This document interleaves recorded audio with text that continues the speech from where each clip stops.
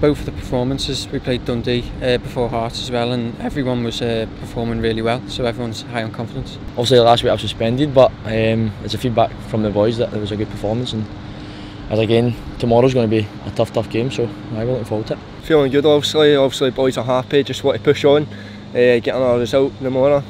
Another three points, and that will do us. Starting to feel sharper uh, week by week, and uh, the goals uh, got uh, the other day has given me confidence into next week. Well, made my debut last year, but this year's it's a different season, new players. It's, it's going to be tough to get in the squad. Do you know what I mean? There's, there's a lot of new faces, and, and I am looking forward to the challenge ahead. Aye, also it's good seeing your teammates get a chance in that. So hopefully you just keep doing what you think you need to do and try and get involved.